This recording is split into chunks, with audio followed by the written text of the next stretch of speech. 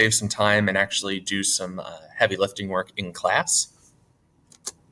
So at this point, you should be taking your notes out, your uh, something to write on, a Google Doc, anything that's going to allow you to take notes, uh, as these are technically lecture notes, so they will be quizable and accessible. So as soon as it starts. So when were the Middle Ages? The Middle Ages lasted about a thousand years, from about 500 AD to 1500 AD. All right, so this is really the era that falls in between the ancient era and the modern era. Okay, this is a specific European time, um, and really we see a lot of fractured people, a lot of sad things, a lot of disturbing things. Um, the idea of a central government really falls apart after the Roman Empire collapses. Um, people are experiencing anarchy, they're on their own. There's really no large government or army or system even to protect them. Um, once the Roman Empire falls due to mostly uh, uh, quote unquote barbarian invasions from the Goths, the Ostrogoths, the Visigoths, um, the Roman Empire is going to fall. People are going to have no one to protect them, and they're going to be terrified. So this is a map of uh, the old Roman Empire. Um, this is at its height all of the territories that um, the Romans controlled. Um, if you look to the right of the map, you can see the Byzantine Empire. Remember, this is uh, the empire that the Ottomans are going to attack and cause the pretty much the final coffin nail in the Byzantine Empire. So we're starting to see things uh, intersect and connect in our studies. Um, but at the beginning of the Middle Ages, the Byzantine Empire is really going to uh, do its own thing. And so they'd be known as the Eastern Empire, the Byzantine Empire. But what we're going to focus on and what we're going to be looking at for the next couple of weeks is the Western section of Europe. After the fall of the Western Roman Empire, things go crazy. Do you see all these different territories? Different groups of people like the Ostrogoths, the Visigoths, the Gauls, the Vandals, the Slavs, the Saxons, the Jutes, all of these different people are going to claim territory. They're all going to try to fill that vacuum of power. But of course, things are going to fall apart quickly because these empires and kingdoms were unstable from the very beginning. They were absorbing new peoples and really they were not equipped with the proper administration uh, like the Roman Empire had to deal and govern uh, effectively. So, the answer to this issue was feudalism. Feudalism in Europe is really the main um, way for Europeans to feel safe. I apologize for the um, fire engines in the background. Of course, it starts now. Um, but the uh, feudalist system really provides protection for the common people. During this time, the Vikings, yes, the Vikings, Valhalla, the great warriors, that's what I'm talking about, um, not the football team. Weird joke, but whatever. The Vikings uh, and other barbarians are going to be really sweeping through Europe, um, but the Vikings specifically are going to be on the coast. They're going to be raiding and burning cities and villages. Uh, they're going to destroy a lot of church property and they're going to strike terror and fear in the hearts of the Europeans. So, we didn't have a standing army. We didn't have a Roman Empire to protect us like we used to have. The people begin to look to the nobles, the people who have the money, the people who have the power, the people who have an army, even if it might be small. They look to the nobles to protect them. We talked about what feudalism looked like in Japan, but in Europe, it's a fear based thing. Whereas the Japanese had hundreds of years of feudalism, um, prior to the beginning of the Middle Ages, the Europeans largely adapt this system and adopt the system as a reaction to the invasions and the constant fighting. Um, feudalism, of course, as we know, was land based, loyalty based. Um, but unlike uh, the Japanese system, uh, we're going to see knights that are born into the nobility who are going to uh, live by the code of chivalry, They'll live in castles. They'll be fighting off these uh, so-called barbarians. They'll be very strong people, um, and they'll be living it up. with the nobles while the peasants are living in squalor. And one more note about feudalism and its impact on the overall time period. Uh, we're going to start seeing the rise of major cities that we know today, such as Paris, such as uh, London, Zurich, uh, uh Moscow, um, and other smaller, well, once were smaller states. Um, except for Rome. Rome is going to continue to burn for a couple hundred years and not really be able to recover.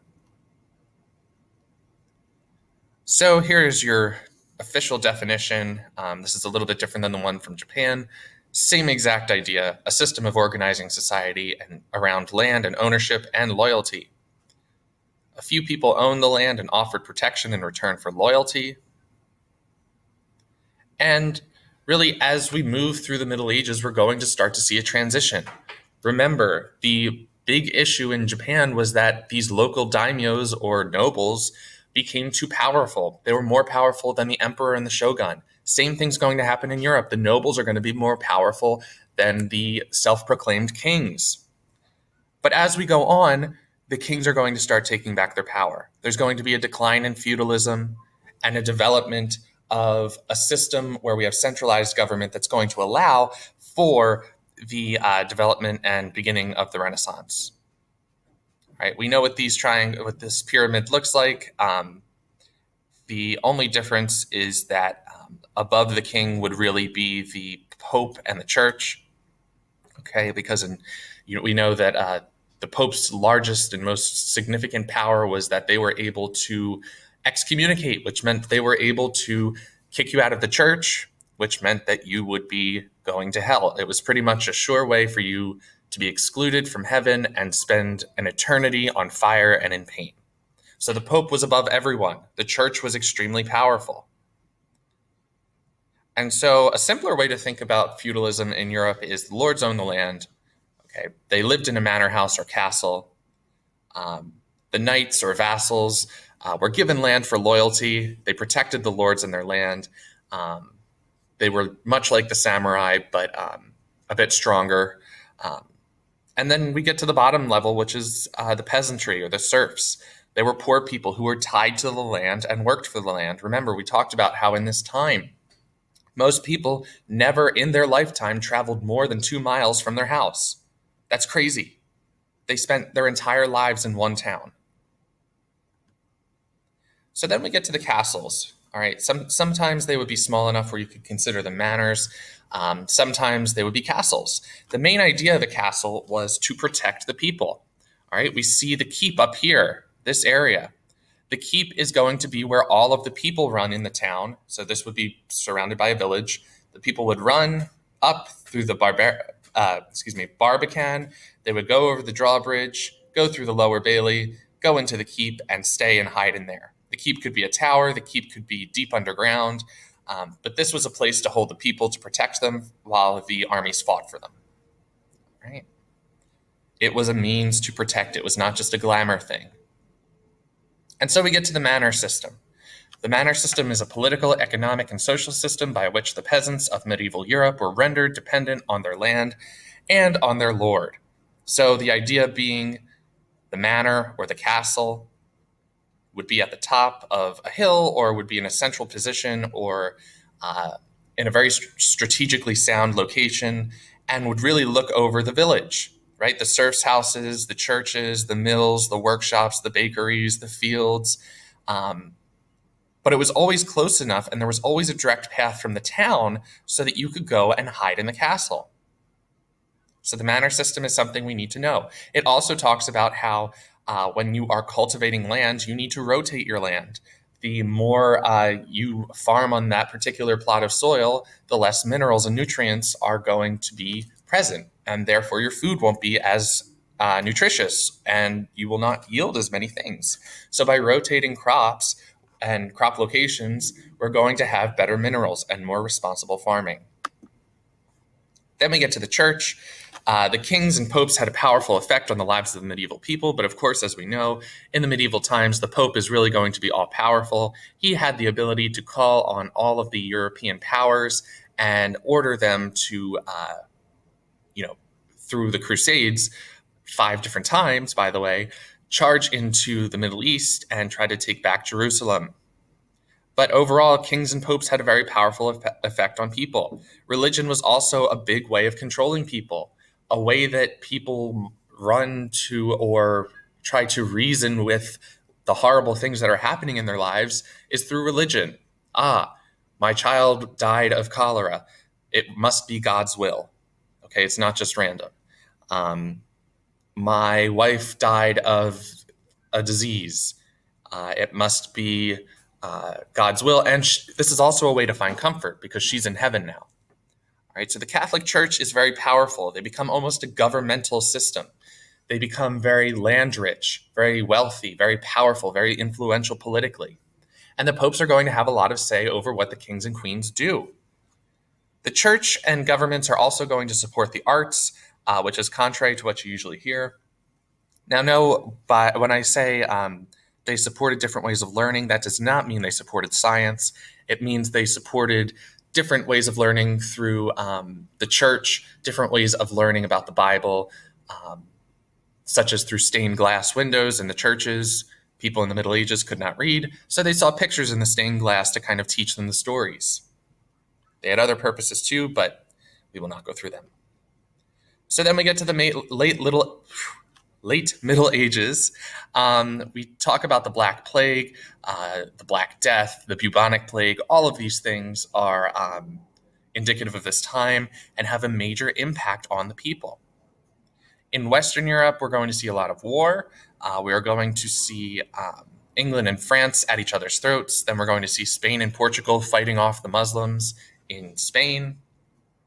And it's going to be a couple hundred years of constant warfare. And so these are going to act as traumas. There were a few significant, a few significant events and factors that led to a shift in thinking of, in society, which led us to the Renaissance. The Black Death killed off about two thirds of all of Europe. So, two thirds of the European population died, their bodies rotten. Like, just think about that. No other event in history has um, really caused the deaths of two thirds of a continental population. This is insane. So people start moving away. They start moving to cities out of the country where there were more opportunities for jobs, uh, more safety. If you're in a city, you're less likely to be assaulted by a gang of bandits, uh, and or you're able to get help quicker um, in a city than you are in the rural lands. And there were less knights to defend the nobles. Okay, kings would gain more power because of the Black Death, because of um, the fall of feudalism, because of um, the decline of the church. Uh, these kings and knights are going to gain more notoriety. They're going to get more power, centralize their power. Many knights died from the from disease and um, from the Black Death, and from the Crusades. So there's less, just like with Japan, less of a need for knights. Okay, the samurai, when there were less of them, the, no- the nobles had less power, the daimyos had less power. Same thing in Europe. Okay, and this is really when we're going to start to see um, armies of regular people start developing. We had this um, under the Roman Empire, but this kind of fizzled out when there was no central uh, government to maintain an army. And so this is a, a neat little video. I hope it plays. And what it's going to do is it's going to show you, oh, of course it stopped. this is going to show you how quickly um, the plague is going to spread um, and how fast the disease moved.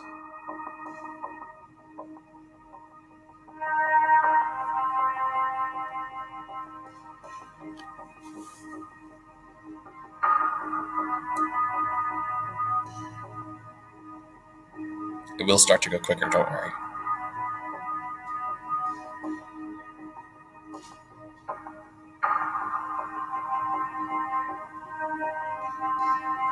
So we're not seeing a lot of movement, right? It's still very early on.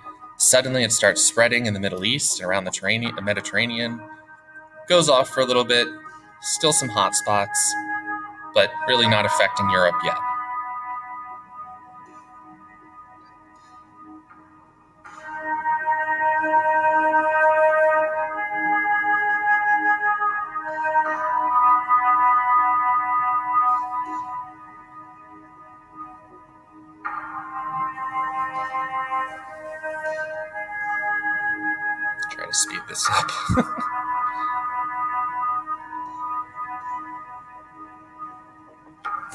Once we get to the 1300s, we're really going to start seeing the plague in Europe. Here we go.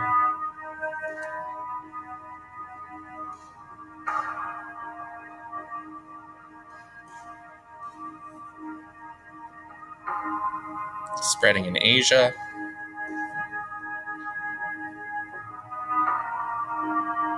And just like that, it spreads like wildfire. All right, it's all the way across the continent. It spreads so quickly in the Middle East, all throughout Europe. Okay, as slow as the map had been moving for the past hundred or so years, suddenly all of Europe is infected. Okay, most of the Middle East is infected, and Asia is infected. So, from that map, we can see how much of an impact the disease would have on people. Then we get to the Hundred Years' War. So, this is part two the devastation we see from a war that lasted 100 years. It actually was divided into three different parts. Um, but it started when the French king Charles IV died in 1328. Uh, he had no child, no male heir. Um, and it's important to know that at this time and for the foreseeable future, we're going to see um, a lot of royalty be connected and related. Um, so, two men would claim uh, to be the heir to the throne or the next line, person in succession. Edward III of England, who was the son-in-law of Charles IV, would claim the throne, but Philip of Philip of uh, Valois, um, who was the nephew of Charles, would also claim the throne. So there would be war. The English attacked the French. Fighting ensued. They're fighting on and off for a hundred years. The war ends, and there's a territorial switch. Bordeaux, which had been held by the English for hundreds of years, uh, was suddenly uh, taken over as they surrendered to the French. Um, and Calais would be taken by the English. All right, so there'd be a swapping of possessions. It's important to note that no one wins. It's just prolonged fighting. It's just stalemate. New weapons were introduced in this time, such as the longbow. The average man could serve in the army, not just the knights who trained their whole lives. Kings gained more power. England lost territory in France, and there was a massive change in social structure. The feudal system begins to disintegrate. People are saying this is not working. The kings and queens need more power so we can have centralized armies. Okay, so we can see the trade difference in um, uh, uh, uh, town life um, and how much people start trading, uh, where the importance lies. So we have the church versus um, the government. Um, so religious versus secular. We can see the development of cities. And we see the rise of city states. A city, a city state is a city with its surrounding territory form, uh, which forms an independent state. So basically, a city that is basically its own country, right? A city state is very powerful, it has influence around it, but the city is the capital and the surrounding area. City state is power. So the Renaissance, real quick before we finish up. The Renaissance is a French word meaning rebirth. Uh, it was a real revival of the arts and learning. Um, the period when scholars became interested in ancient Greek and Roman culture. Italians were surrounded by their ancient culture and artifacts, so the Renaissance is really going to begin in Italy. The Italian city-states also displayed their wealth by giving financial support to artists who created works with classical themes. So the Renaissance, it's going to start in Italy. The Black Death is pretty much over at this point. Italy has a warmer climate, so people are able to recover quicker. So the Renaissance is going to spread north, uh, north as the plague starts dying out, right? It's going, you're going to be healthier where it's warmer. You're going to be less prone to disease than where it's colder. And so people were really fascinated with classical cultures, and we'll get into this more next week. Um, the Greeks, the Romans, uh, they start looking back to the ancient times as the ideal time. There's a belief in uh, human potential, which we'll see so from the sources. Um, there's a new type of scholar called the humanist. Centered on humanity, it's centered on human worthiness, not just um, religion. And humanists devoted themselves to studying ancient writings, learning many subjects like Greek, Latin, uh, and history and math. And that is the end of our video. Um, I hope you enjoyed this. Please take notes. If you missed anything, the great thing about a video is that you can rewind, you can fill in whatever you missed. Um, and I hope you enjoyed this. Remember to make your two, two to three comments or questions so we can discuss this video in class um, uh, when we see each other next. Um, if you have any questions, shoot me an email. Uh, but until then, keep enjoying history. Peace.